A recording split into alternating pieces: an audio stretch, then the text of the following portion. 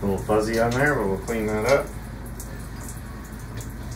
Things will be looking good.